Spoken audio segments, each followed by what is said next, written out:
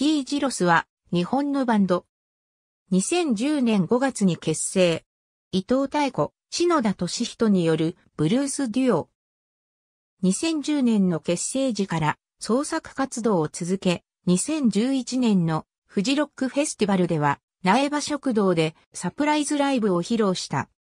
2015年には細野晴臣、恋は桃色や中島みゆき、ホームにてザブルーハーツ、夕暮れ、エディット・ピアフ、愛の参加など、古今東西の名曲をカバーしたアルバム、T の参加をリリース。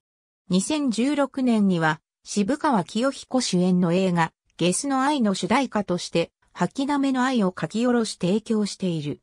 また、同年から NHKE テレ、シャキーンの番組内コーナーにて不定期に放送されている Y 字郎の音楽を担当した。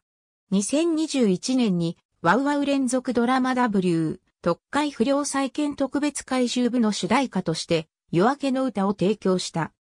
なお、公式ブログのプロフィールによると、二人が織りなす音楽は、ブルースやフォーク、ロックンロールを飲み込みつつ、ジャンルの壁を越えるものであるといい、代表曲とされる、涙橋や、これさえあれば、などの人生における劇場や、引きこもごもを人間臭く表現した楽曲がファンの支持を得ているという。ありがとうございます。